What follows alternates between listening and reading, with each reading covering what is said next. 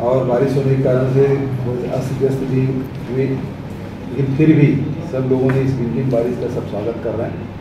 और इस बीच में, पूरे देश में तिरंगा यात्रा कांग्रेस पार्टी के द्वारा आयोजित किया गया है, अगस्त क्रांति, जिस दिन 9 अगस्त उन्नीस सौ बयालीस को महात्मा गांधी ने अंग्रेज़ों भारत छोड़ो का नारा दिया था और उसे अगस्त क्रांति के रूप में हम सब याद करते हैं।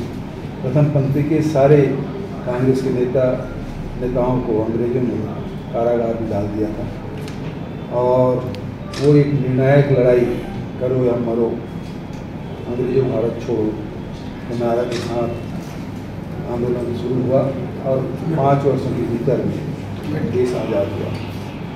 पचहत्तर साल पूरे हुए और देश के आज़ाद हुए और उसमें प्रत्येक कांग्रेसी तिरंगा यात्रा निकाल रहे हैं पद यात्राएँ कर रहे हैं।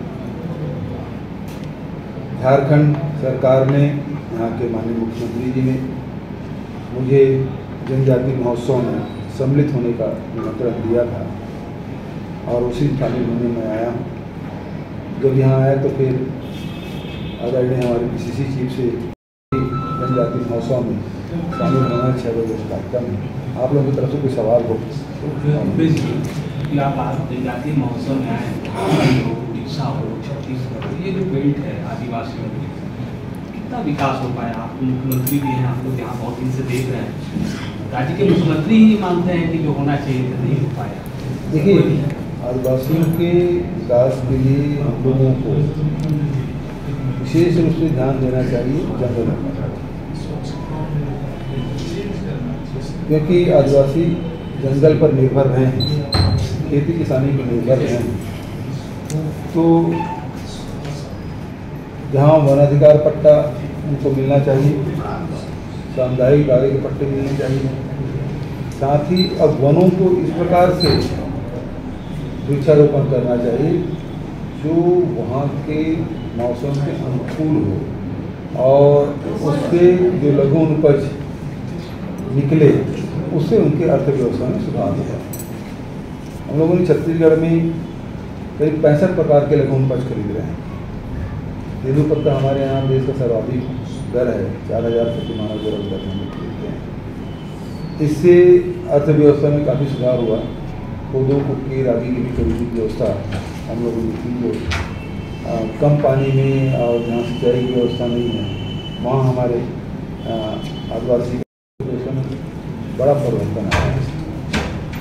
स्वास्थ्य में, शिक्षा में भी हम लोगों को ध्यान देना पड़ता है। और जैसा कि आपने बताया कि झारखंड है, उड़ीसा है, छत्तीसगढ़ है, मध्य प्रदेश है, महाराष्ट्र कुछ हिस्से हैं। ये ऐसे यहाँ है जहाँ आदिवासी बड़ी संख्या में निवास करते हैं। बहुत सारी जनजाति हैं। मोदी जी ने ठग करके गुजरात मॉडल पर देश पे कब्जा कर लिया। लेकिन अगर जनता के आखिरी झोपड़ी तक कोई चिराग जलाने का काम किया है तो छत्तीसगढ़ की सरकार ने किया है। आदरणीय भूपेश बघेल जी के नेतृत्व में हुआ है ये। मैं इस बात के लिए अपने आप को सौभाग्यशाली समझता हूँ कि कांग्रेस पार्टी एक ऐसा मुख्यमंत्री दिया है, जिन्होंने देश में एक मॉडल स्थापित किया है, और ये अतिशोक्ति नहीं है बल्कि ये चुनौती है कि कोई भी जाके तुलना कर ले किसी राज्य से, जो छत्तीसगढ़ में है, चाहे वो किसानों को के धान के मूल्य की कीमत से लेकर के, जहाँ पर गोबर की कीमत भी सरकार दे रही है, जहाँ गाय के जो है, यूरिन की कीमत भी दे रही है। आप समझ सकते हैं, ऐसे व्यक्तित्व को आज हम सौभाग्यशाली है कि इनका हमें अभिनंदन करने का मौका मिला The followup.in. Like, share, and subscribe. www.thefollowup.in